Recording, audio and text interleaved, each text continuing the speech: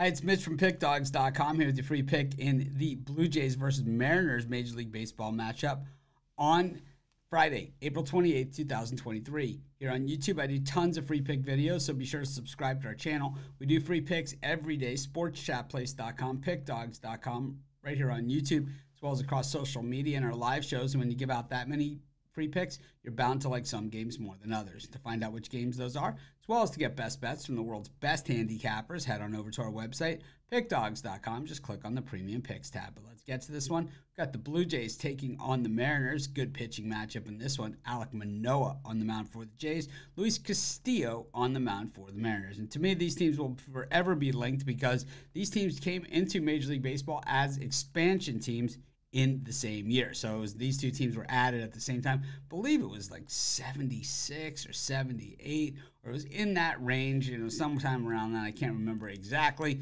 It's too old to remember. But, anyways, um, they did come in at the same time, even though their logos and uh, you know a couple other things about these teams certainly a little bit different. But the thing is, is that you know both these teams right now are seen as contenders. The Blue Jays certainly starting to already assert themselves in that role as we see them come in with the big time winning record, and of course they have a full lineup of really big hitters.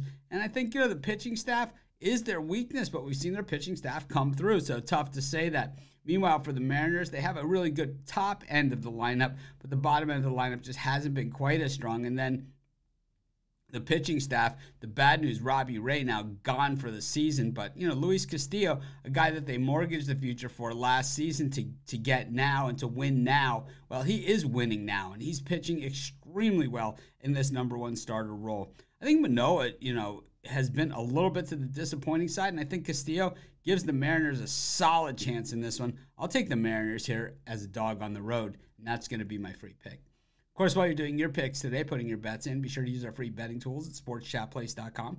Our betting tools are 100% free in the way they work. They show you just how often the bets on the board today actually hit.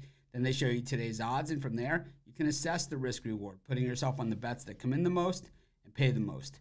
That's how you make money betting on sports.